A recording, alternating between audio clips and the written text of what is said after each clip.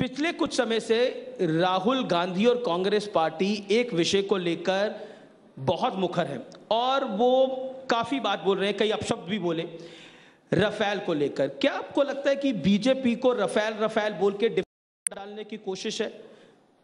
देखिए, जब सत्य हमारे पक्ष में है तो कोशिश कितने भी करेंगे, जब सत्य उजागर होगा, वो झूठे साबित हो जाएँगे।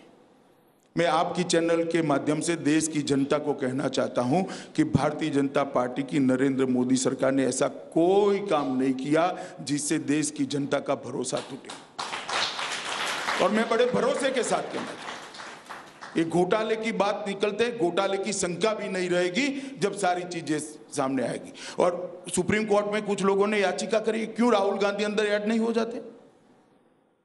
माइक में बोल बोल करना, झूठ बोलना हरोज बोलना, सार्वजनिक रूप से बोलना, ज़ोर से बोलना, ये राजनीति की संस्कृति होती है। जाइए भाई आप सुप्रीम कोर्ट में। और मैं इनको पूछना चाहता हूँ कि इतनी सारी इंफॉर्मेशन आपको कौन कंपनी दे रही है? कहाँ से आ रही है? वो इसका भी तो जवाब दे।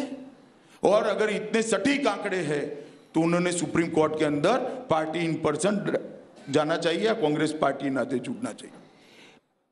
कुछ चीज़ें सार्वजनिक है, मैं आज बता देता हूँ आपको। ये कह रहा है कि अनिल अंबानी को ऑर्डर दे दिया।